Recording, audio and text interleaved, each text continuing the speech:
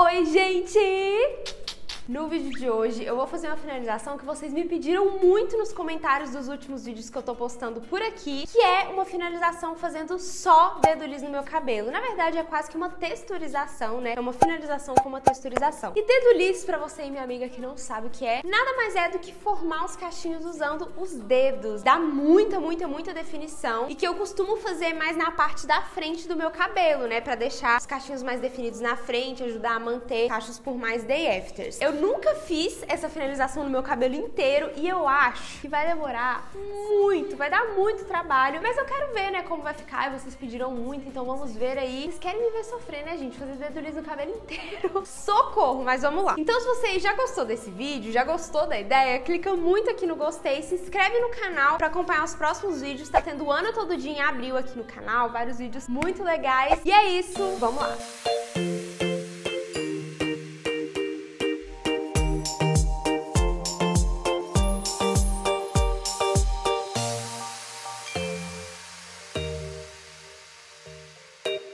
Seguinte, eu vou dividir ele mecha por mecha, né? Porque pra fazer o dedo liso tem que estar tá mecha por mecha. E eu vou usar um ativador de cachos, vou usar esse daqui de coco que eu amo, mas eu não vou deixar o meu cabelo muito molhado e eu também vou usar pouco produto. Por quê? Pro meu cabelo ficar mais leve e secar mais rápido, porque se eu usar muito creme, muita água, enfim, eu acho que vai dificultar aí na hora da secagem. Eu vou pegar aqui um pouquinho de produto, ó. vou dividir aqui assim. A dica é você pegar uma mechinha assim maior e ir aplicando passando creme nela, concentrar mais nas pontas também, massageando e vou fazer delícia, mechinha por mechinha. Gente, espera aí que eu falei que ia aplicar pouquinho produto, mas não tá dando muito certo não, o cabelo tá ficando muito leve, aí fica difícil de fazer o cacho, mas enfim. E o dedo liso basicamente é isso daqui, ó. Você pega uma mechinha, vai enrolando assim com os dedos. Eu sempre gosto de enrolar a mecha pra trás e depois no final vou fazendo assim, ó. Algumas pessoas fazem de forma diferente, vão enrolando assim, sabe? Mas eu prefiro fazer dessa forma mesmo, ó. E essa é uma texturização que eu lembro que quando eu tava em transição capilar, eu ouvia muita gente falando, ah, faz dedo liso pro seu cabelo definir mais. Só que, quando você tá em transição e você faz o dedo liso, a parte que tá esticada não cacheia de forma alguma. Pelo menos no meu caso era assim, e outras meninas também acontece da mesma forma, mas você pode tentar.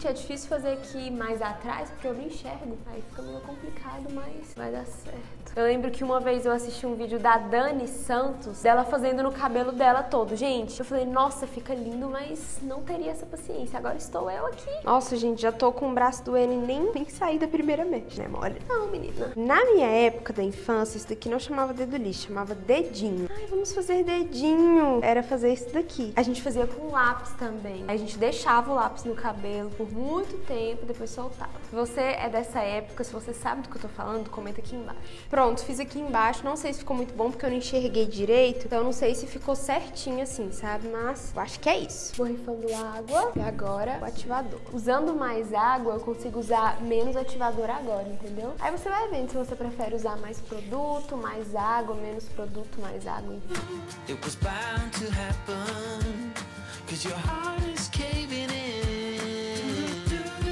dica é você fazer a fitagem e vai pegando as fitas e vai fazendo o dedo liso nelas. So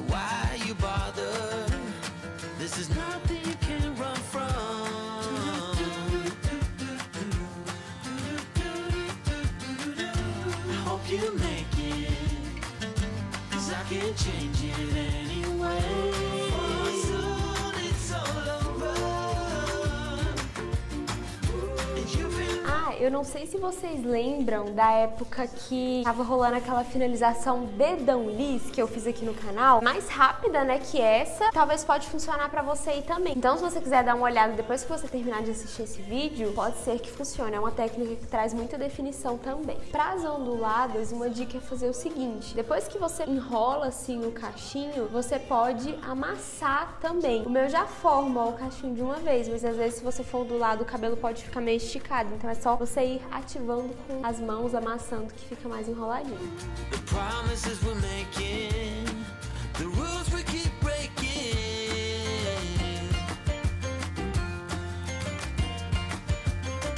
Ah, gente, reparem que eu não tô dividindo mechas muito certinhas não, ó. Tá quase que um zigue-zague, porque como já é uma finalização que tá os cachinhos bem formadinhos, tudo bem formadinho, se deixar tudo bem dividido também, eu acho que o cabelo vai perder um pouco do movimento, assim. E outra coisa, o produto também fica a seu critério, se você quiser usar, né, uma gelatina, um gel, uma geleia, um creme mais consistente, um creme mais leve, enfim, fica a seu critério também, que eu acho que o produto aqui vai mais do seu gosto mesmo. E vamos lá para as minhas expectativas para essa finalização. Eu acho que vai ficar zero volume, gente. Eu não sei se vai ficar muito estilo de finalização que eu uso, assim, né, no meu dia a dia, porque eu acho que o cabelo vai ficar com nada de volume, assim, porque os cachinhos vão ficar bem formadinhos. Mas eu vou te contar que demora, viu, minha amiga? Não é simples, não. Ah, uma coisa que eu quero falar com vocês. Se você aí já passou pela transição capilar e quer contar um pouco mais da sua história, mostrar fotos do antes e depois, tem tipo uma coluna, né, lá no blog, em que a gente coloca lá as histórias de vocês, coloca fotos, enfim, vocês mandam o depoimento de vocês e tem um formulário, né, para você responder, para você enviar sua foto, um e-mail certinho. Então eu vou deixar o link aqui na descrição e eu espero muito receber muitas histórias de vocês. Então se você tem também uma amiga que você acha que deve contar a história dela, mandar as fotos, enfim, manda esse link aqui da descrição para ela.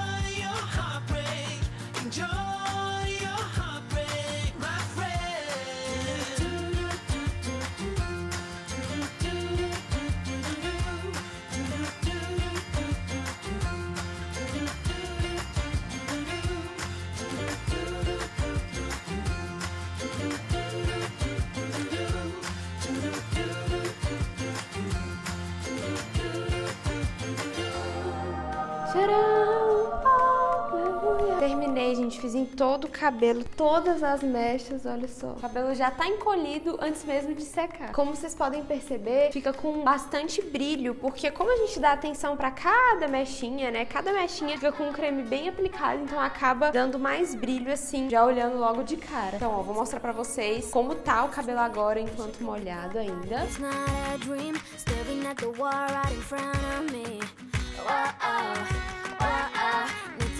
E agora eu vou esperar o cabelo secar e eu volto pra mostrar o resultado final pra vocês. Tô curiosa aí pra ver como que vai ficar. Daqui a pouco eu volto. Voltei, gente, meu cabelo já tá praticamente todo seco. Como vocês podem ver, gente, tá super, hiper, mega definido, só que agora eu vou fazer uma coisa. Fica sendo uma dica aí pra vocês também, que é desfazer alguns cachos, ó. Não é bem desfazer, você vai, tipo, abrir eles e dividir, ó. Você pega uma mechinha e vai abrindo pra deixar um aspecto mais natural. Você não precisa fazer isso em todas as mechas, mas você pode ir pegando algumas. E é importante fazer isso quando o cabelo já tá seco, porque se você fizer quando ele ainda estiver molhado, vai desmanchar tudo. Essa dica serve até mesmo para quando você não fizer dedo liso, mas sei lá, você finalizou e você sentiu que os cachos estão muito grudados, você vai abrindo eles assim.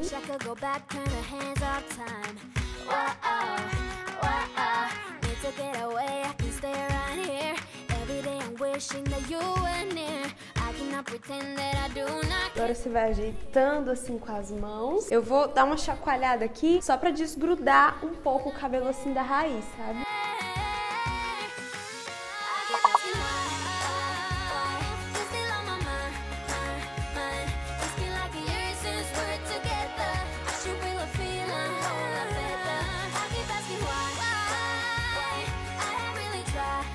E esse foi o resultado final, gente. Eu confesso que deu trabalho sim, como vocês viram aí. É uma finalização que leva muito tempo pra fazer, tem que ter bastante paciência, principalmente se você tiver muito cabelo como eu tenho. E não é uma finalização que eu vou fazer, eu gosto de um pouco mais de volume e aqui o cabelo fica mais encolhidinho, com menos volume, mas pode ser uma finalização aí pra quem gosta de muita definição e pra quem tem muita paciência também. Eu imagino que essa finalização deve render muitos day afters também, porque a experiência que eu tenho tenho com o dedo lis, que eu faço em algumas mechinhas assim mais na frente, é que os cachos duram muito, né? Os cachos não se desfazem facilmente, então dura bastante day after. Eu acho que eu nunca vi o meu cabelo tão definido assim, sério. No final a gente fez cachinho por cachinho, mechinha por mechinha. E como eu falei, é uma finalização que dá muito brilho, gente, no cabelo. Mas é isso, espero que vocês tenham gostado. Se você foi uma dessas pessoas que pediu bastante, clica aqui no gostei e envie esse vídeo pra alguma amiga chiada, crespa, ondulada, enfim. E me contem aqui nos comentários quais as próximas finalizações, os próximos vídeos de cabelo que vocês querem ver por aqui, me contem. Um beijo, fiquem com Deus e até a próxima. Tchau!